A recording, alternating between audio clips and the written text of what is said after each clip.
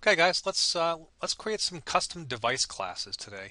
Device classes are what uh, are the system that we use to categorize devices or classify devices so that you can see who the manufacturer and what the model number is of the device when you're looking at it in the device manager uh, as well as device summary screen and a number of other places. When we're looking at these devices uh, on the system here you can see that the device classes comprise uh, any number of uh, different manufacturers and, and, kinds of things that we'll find on the network. But in some cases, the devices are not classified. In other words, they're they're not given in a, a manufacturer, or maybe they are, but they're simply not given a specific model number. Um, we often see this um, in situations where we, we have uh, this original equipment manufacturer, OEM, uh, next to the manufacturer. Sometimes we'll have nothing in here, which happens occasionally. But let's see how it is, how easy it is to walk through here and assign a custom device class to these devices and begin to classify devices on the network. If we choose one of these devices at random, this is a, this says it's a Cisco Systems OEM. Device category is unknown, but it tells me it's a router. Um, if I look at this device, um, we can see that we've got a good system description that tells me it's a C2900. So I know the class of device. In this case, you know, Cisco's kind of well known, so I can see it's a it's a 2900 uh, class device, but it comes up and it doesn't have a category as we saw in subclasses OEM. So all I know is it's a Cisco thing. Well, if we take a little bit deeper look under the covers, if we can we can go to the MIB Walker.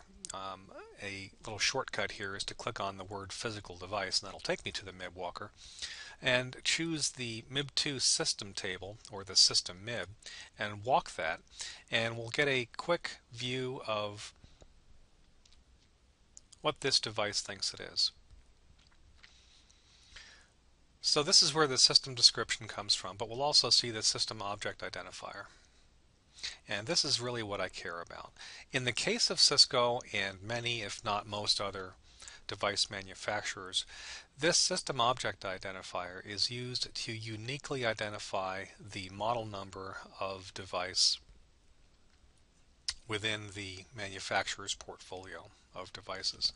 I'm just going to grab that OID and I'm going to go to my web browser and paste that in and uh, this will take me to the uh, Cisco products MIB and allow me to cross-reference this and we can actually see you know directly in the uh, in the overview here that the uh, the OID 1.1045 is associated with a Cisco 2911 but if we wanted to dive right in here and then just do a find and go down to 1045 then we'll see in this table that uh, that's a Cisco 2911 that corresponds to that OID so that's good to know because with that information, I can now create a custom device class and reclassify this device um, in order to give it its proper device name and device category. So let's go ahead and do that. We go to the System, Customize, Device Classes section of the product. We do a quick search here on Cisco, we'll see that there are over a thousand current entries for Cisco uh, which is an awful lot. But for Cisco and for almost all other major equipment manufacturers, you're going to find that there is a fall through category. And the fall through category is called OEM. And so the OEM entry is used as a high level entry for uh, matching if everything else falls through. So you'll see here we've got several different OEM entries. At the end of the day, if it identifies itself as 1361419 anything, it's going to be assigned Cisco Systems OEM. And that's what we saw with the, uh, the case that we had here. But here we know that it's a Cisco Systems 2911 and I'm just going to paste in the sys object ID. Pay particular attention to the fact that I did not use a beginning decimal in this sys object ID. This UI doesn't like to see a decimal uh, starting it, so make sure you don't put a, a beginning decimal in there. In some devices, the sys, the sys object ID is not enough to uniquely distinguish this device because the manufacturer may use the same sysobject ID for a number of the devices in their product portfolio, but they may use enterprise MIB variables to distinguish amongst these. So if that's the case, then we have these other uh, options uh, in front of us here in order to check the value of other OIDs in addition to sysobject ID in order to get a finer uh, distinction between different devices. Anyhow, let's continue on. I'm going to assign the, uh, the Cisco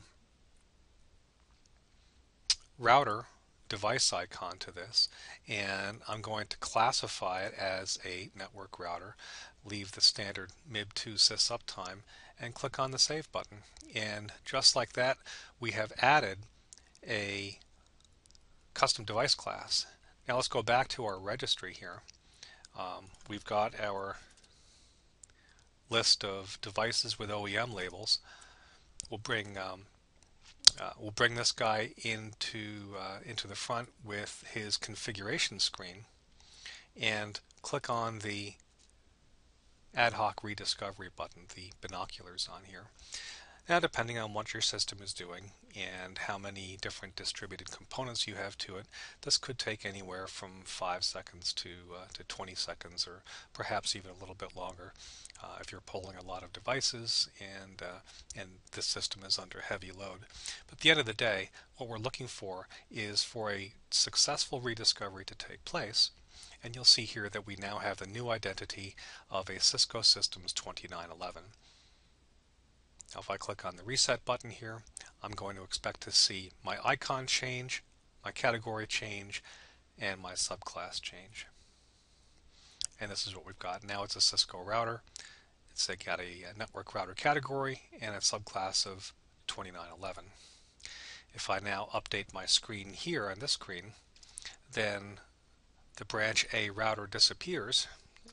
And if I instead look for the text to 2911, then you'll see here it is right here. Now it's a network router, Cisco Systems 2911. And if I click on his uh, events, then we'll see updating device with new class type, new class type 2911, old class type OEM. So uh, this event will expire um, in, uh, in a little while, but uh, everything worked according to plan. So, uh, you know what, that was so fun, let's do another one. Um, here we can see we've got an F5 Labs OEM. Now I don't know what kind of device this is. Um, it's got it's a Linux machine. I know that, and I can see it's running a 2.4 Linux kernel. But I don't know a whole lot more than just that. So let's do the same thing we did before. Let's look in the system MIB and find out uh, what the sysobject ID returns for this device and see if we can get a little bit finer detail as to how we might, might want to describe this inside of EM7. So here's our sysobject ID 136.141.3375.21346. So I'm going to copy that out, go back and see what we can come up with. So the first entry on the list actually comes from the F5 Big IP system MIB. And uh, let's see, 21346. If we take a look at this and search for 21346, it tells us this is a big IP 3400. So we'll just grab that and uh, go back here to my custom device classes and we'll create another one. Let's see what we call this inside EM7. We just call it F5 Labs. So I'll call this F5 Labs and I'm just going to paste in my oops that's not what I want. I want to put that up here. Big IP 3400 and I think I left my OID sitting over in my other window here. Yep I sure did. So I'll grab that OID and pop that down in here. Now the question comes as to um, what we want to classify this device as. We may or may not uh, have a, an icon, but I think we've got an icon for F5. It didn't just scream past me there. But as far as device category, um, we, we need to kind of make a decision as to how we want to classify this device. Uh, I'm not exactly sure how we want to classify this device, so for right now, uh, let's put this in as a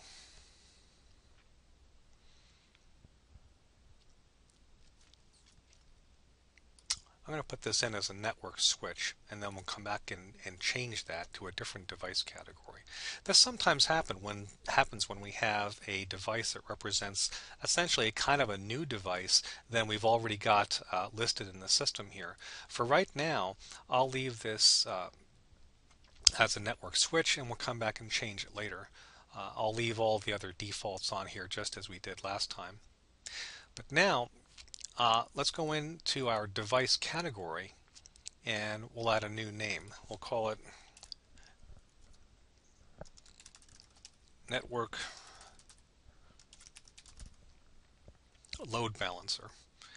And we'll, uh, we'll just give it kind of a standard default icon there.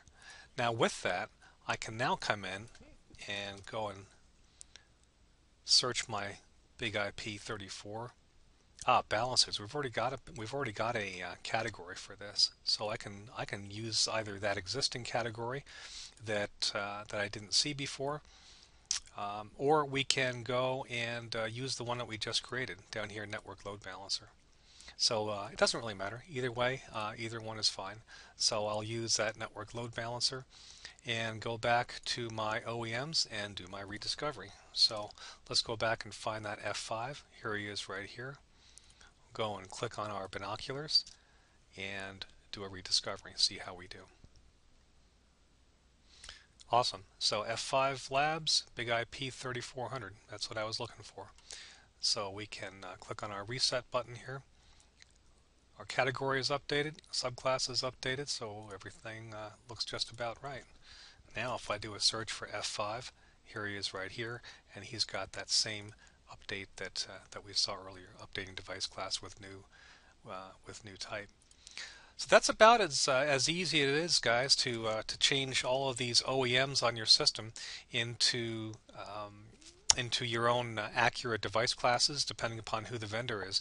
Now, I will say uh, that um, this router that we see here this guy, if we take a look at him also, I think we're going to find out he's another 2911. The nice thing is that uh, tonight when uh, nightly rediscover takes place and all these devices are rediscovered, then uh, these devices will all be reclassified if they fit any of those new device classes that I just defined. So I hope this was helpful. See you again in the next video.